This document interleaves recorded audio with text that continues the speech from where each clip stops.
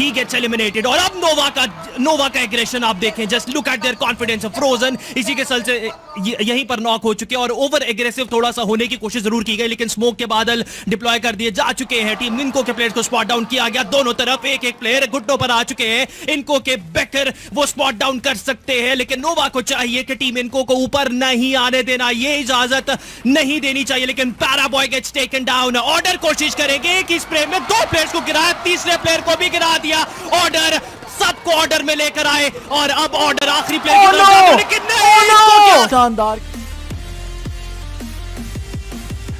Oh my god what just happened आदि?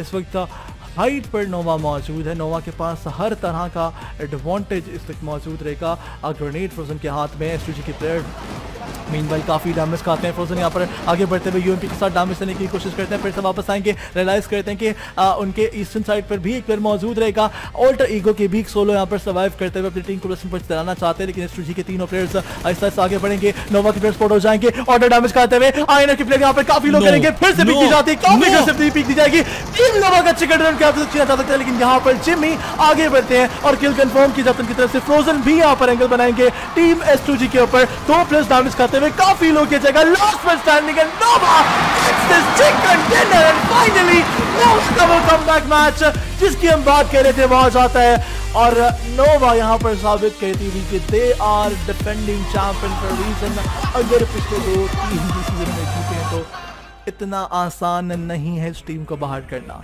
आप कभी भी नोवा को कंपटीशन से आउट नहीं कर सकते।